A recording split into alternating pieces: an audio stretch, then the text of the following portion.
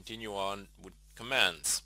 So today I have some, well, some of them perhaps can be referred to as text editing commands, but they are mainly for file listings and for combining with other commands in order to obtain better results. Anyway, I'm going to show you very soon what I mean. So first off, we have echo.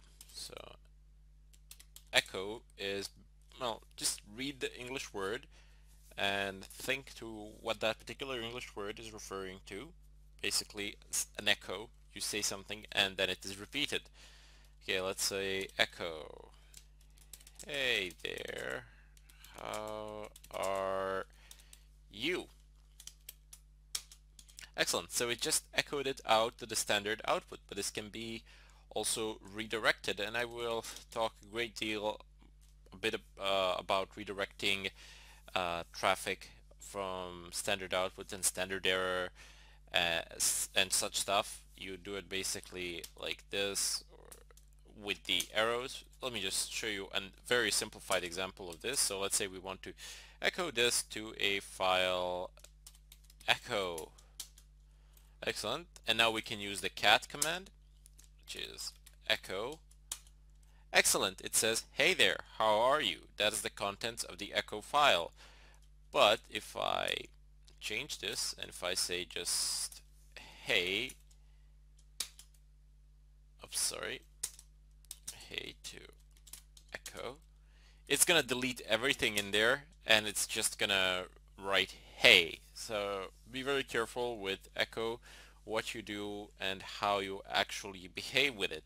Primarily because you can end up messing around with the content of other files, deleting them and substituting them with something else. But echo is a very nice thing, especially in bash scripting. It allows you to actually be informed. It allows for that verbose output that you are getting with it when you're running commands when the command when the program is actually telling you, oh, okay, I am doing this now.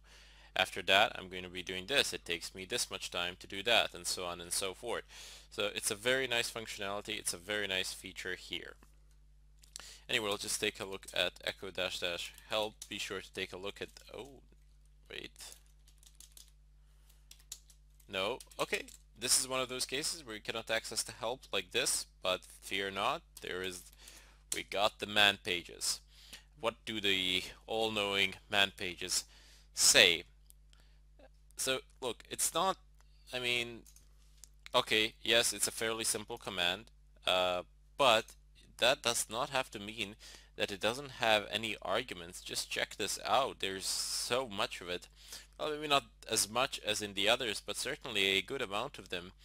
So you have these escape characters. We're going to be learning about them quite a bit later on, but uh, how to use them but for example if you wanted to echo a backslash or sorry if you wanted to let's say echo a quotation mark you would need to use a backslash as an escape character for that. Or if you wanted to echo a backslash you would need to use backslash as an escape character for itself. Well let me just I'll show you what I mean in a moment but for the time being uh, I'm just gonna have a look at these options. Excellent. So we need dash E to enable interpretation of backslash escapes. Very, very important. I will show you why in a moment. Okay, so capital E is apparently disabled, which is not the not the best of things. So let here you have the synopsis like with any other command, but let me just show you what I mean by this. So if I typed in, let's first clear the screen. If I typed in oops, echo test, I don't know, backslash, hmm, what did I get? The command is not done. It's interpreting, it's actually waiting for, it's offering me a chance to issue more inputs. If I type in the quotation marks again, you see what happened there.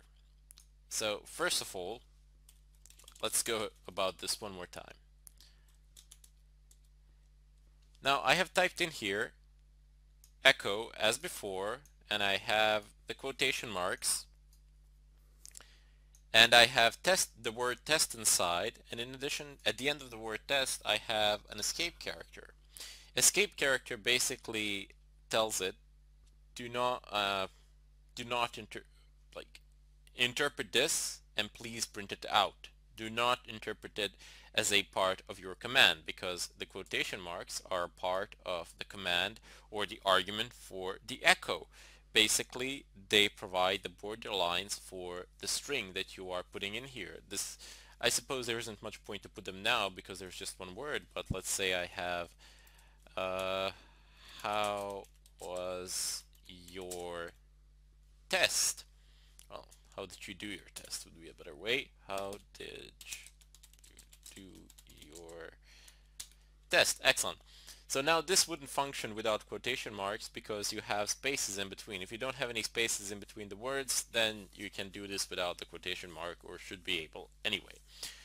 But since the quotation marks are part of this command, uh, the backslash here tells tells to the echo that, hey, this guy at the end, this last quotation mark, is actually not a part of your standard command. You are supposed to print this out only and not interpret it as a command.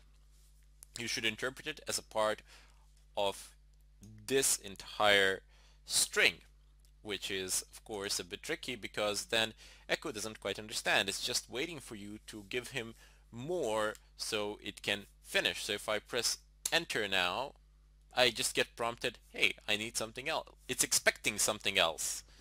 It stands to reason to it that you should type something else and quite frankly it is uh, it is quite rational that you should. So I just add another quotation mark which will match its twin at the beginning so these two will be beginning and the end because this one can't be as it was actually, there is an escape character in front of it and it completely throws it out of the equation. So if I press enter here, there we go. How did you do your test? And then the quotation mark at the end. That's pretty much the only way to print quotation marks and some other things which would generally be considered to be part of the command. Rather instead, you can use escape characters such as backslash in order to avoid this, these sort of things. Anyway, that's why we need escape characters. That is why they're very useful and that is why we use them. We don't only use, I mean, you're gonna you're gonna use the backslash even though uh, you don't need it for navigation rather instead you will use it for escaping things such as these perhaps not in the echo command but believe me, there will come a time where you will need to process a lot of things with a lot of other programs and you will need them. Anyway, what I was uh, what I showed you a moment ago is in fact this greater than sign. Greater than sign basically says to the echo, okay, whatever you have, redirect your standard output into, I don't know, into some file, some file here doesn't matter which one. So just whatever you have, don't put it to standard output because this is standard output when it prints it out to your terminal screen. Uh, don't print it out to the standard output. Rather instead, please redirect it to my file and put it there. So that's a very nice feature. These things are rather universal. Escape characters greater than sign. Uh, so you are able to in fact read a, uh, not only this is not network traffic but you are able to basically steer the traffic within your machine in a way you want it in a way you want it to function towards a place where you want it to go and it's fairly simple there isn't that much complication to it now let me just use this echo command in combination with grep command because that is yet another thing that I wanted to show you and on top of that we will need a pipe. So look, this is a pipe. This is a piping sign uh, binder between two commands. is basically saying pipe it through. So whatever you have, whatever you output, so whatever the echo outputs, and this is the output of the echo, please pass it along. This says the pipe please pass it along to the command that will stand on this side. And on this side we will use grep, which basically just pulls something out, grep, and we will say that I don't know, we want to pull, what shall we pull? I don't know, did you, or just did. And if I press enter, there you go. It has symbolized it completely red. So let's make a let's make a file now. Actually, no, we already have a lot of files here that we can. I'm sure we can use at least some of them. Uh, what do we got in echo cat? Echo? Excellent. So we have hey but this is not enough. We should do echo I don't know hey there. Then the new line character. How are you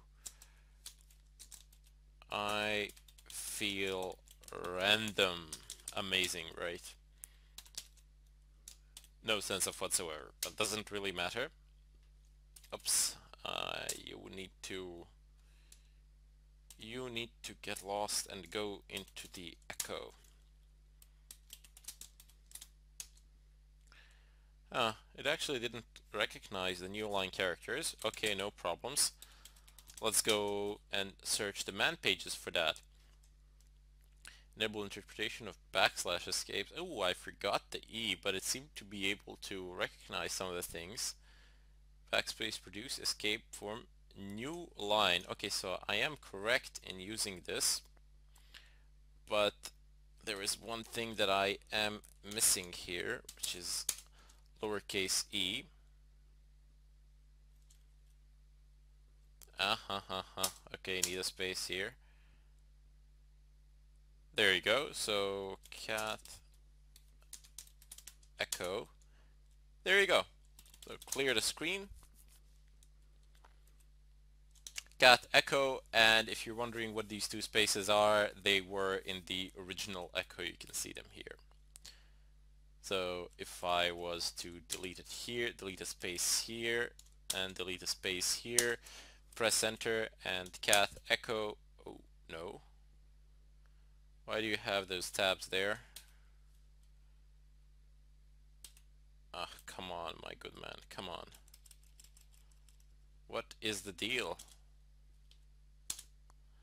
I got no idea. Doesn't really matter for the time being. Maybe I'm doing something wrong with the echo command, but that's that's besides the point. What I wanted to show you is uh, the file itself. So you have have this weird looking file with those two spaces in the front and since you have the file now, imagine that this file was like 400 pages long and you need to find particular words or particular patterns or I don't know, you need to find whatever. How do you do that? Well, okay, sure, a lot of text editors will have a find option and granted, the terminal text editors also have find options. But if you're doing something in your terminal and if you just want to figure out what a certain variable value is or if you want to format it in a way you can pull the text out you can put you can output the text the standard output and then you can redirect it to then you can pass it on to grep actually. And with grep you can take particular lines which you can then in turn pass to yet another program to do something with them now okay you might think that this is a far-fetched scenario but no this is actually quite common so for example, imagine that you have a program which is uh, scanning for thousands of IP addresses and that program is gathering information whether the port 80 is open or not. It's looking for web servers.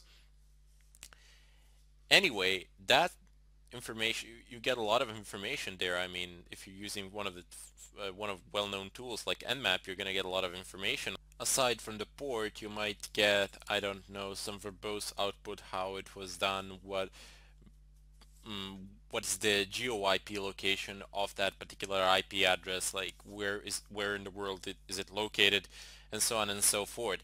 And let's say you just need a collection of IP addresses which are in the following format. So you have the IP address, you have a confirmation that the port 80 is open, but you don't want to put it in the table. You're just saying, okay, I want the IP address, and I want the city uh, in which this IP address is. You would have to use grepable output.